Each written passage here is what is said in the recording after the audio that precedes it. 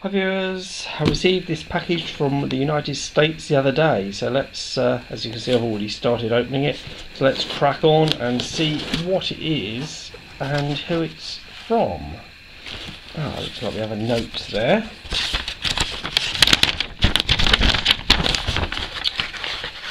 Dear CCT, after all these years, looks like I landed a lemon from the local coin store. She had got a large load of bars in, and I guess she didn't test them all. Proves no one is perfect. After so many years of great deals and friendship, I didn't have the heart to take it back. No, I don't blame you. Instead, I thought you may enjoy doing what you do best. I'm 99% sure this bar is fake. We sent some chocolates from good old PA for you and the family to enjoy. Don't eat it all yourself. Plus a little piece of silver for you to enjoy. Well, I think it's silver. yeah, I'm sure it is. Well, the hibernation time is almost over. Wishing you and yours an early and warm spring. Take care. The part-time preppers.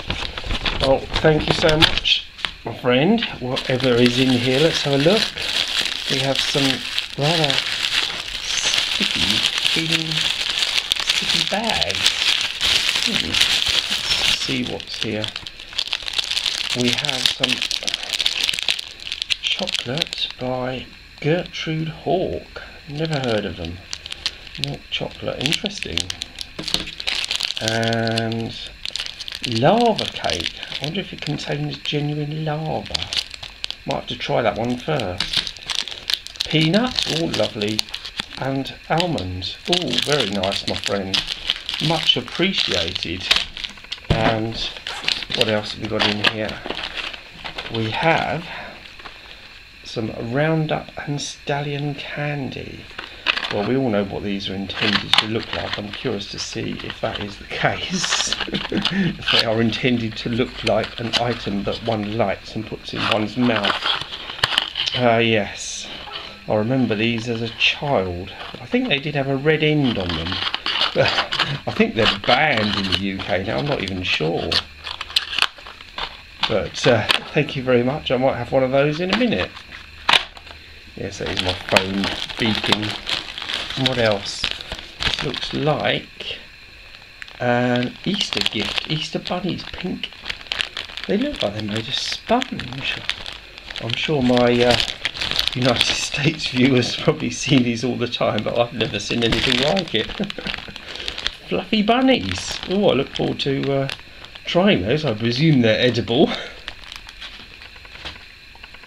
anyway, on to the package. It looks like it's busted out of the end. Oh yeah, probably slid out side to side. We, that's, I think that's everything. We have a chocolate one cent in or well is it copper no it's chocolate uh, what else have we got oh got that's empty. We have a silver round by the look of it. Looks like proof like the triumph of man's will to survive. I can't quite see that on my camera screen, but it says nuclear non-something or other treaty from the United Nations. Well, that's unusual. I'll uh, look that up later, my friend. What year is that? 1972. Oh, I was gonna I was gonna make a comment then relating to my age, but I shall refrain. and we have a rather shiny looking Scottsdale Bar, which looks unusually thick, I must say. But uh, anyway, we will save the investigation of this for another video. Actually, it feels a bit heavy as well. I could be wrong, but we will uh, investigate that one in another video, I think.